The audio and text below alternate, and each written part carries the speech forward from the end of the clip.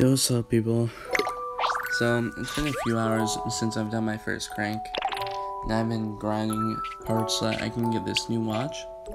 So, we're finally just getting the watch piece, and so now it's time to finally make the watch. I grinded the stage for a few hours, and I got all the parts. So, here it is. I think I'm gonna make it. I'm so excited. Okay, 10,000 white coins.